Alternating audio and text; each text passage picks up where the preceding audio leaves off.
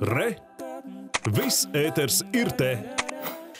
Daugavas vanadžu rīkotais Ziemassvētku tirdziņš Londonas Daugavas vanagu fonda namā ir gadu desmitiem sena tradīcija. Tiesa šogad organizatoriem nācās samazināt tirgotāju skaitu. Tirdziņā bija arī mūsu korespondenti Lielbritānijā Ilza Kalve. Daugavas vanagu fonda namā Londonā Ziemassvētku tirdziņos parasti nepietiek vietas ne visiem tirgoties gribētājiem, ne pircējiem. Taču šogad tirdziņš dēļ ierobežojumiem ir krietni klusāks. Lielākoties tiek pārdotas pašu rokām darinātas lietas, kas pārdevējiem nav maizes darbs, bet gan hobijs. Tautiešu darinājumi ir labākā dāvana, pie tam savējo atbalstīšana ir goda lieta. Ādu visu laiku, kam vajag un kam nevajag, un mēģina arī kaut ko pārdot. Ja, protams, ir interese, jo cilvēkiem tiešām viņu vairs nē, neāda netamborē. Un tad bija vienu gadu aizsūtīju uz bērnu slimnīcu zeķītes arī labdarībai. Tie produkti ir arī tādi draudzīgi arī vegāniem. Vegāniem.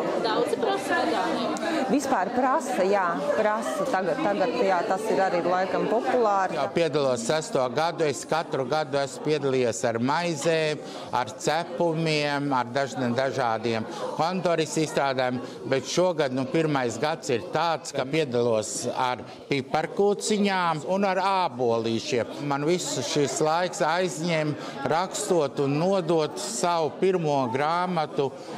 Populārākais meduskūka, speķapīrādziņi, rausīši. Un ne tikai latviešiem, bet arī angļu publika ir iemīļojusi meduskūku, kas ir vairāk kā pārbaudīta jau. Ziemassvētku tirdziņā vienmēr būs arī loterija. Balvas mēs mums vanadzes sanesa sadāvinājam no visādām organizācijām, kas te bija arī, arī no deju kopām, arī no, no Daugavas vanadzēm sanesa meitenes loterēju. Un tas tiek ziedots arī Daugavas vanadze, vanadzu pasākumiem, atkal citiem pasākumiem tiek. Kā jau ierasts pirmā stāva veidnīcā, tiek piedāvātas īsti latviskas pusdienas.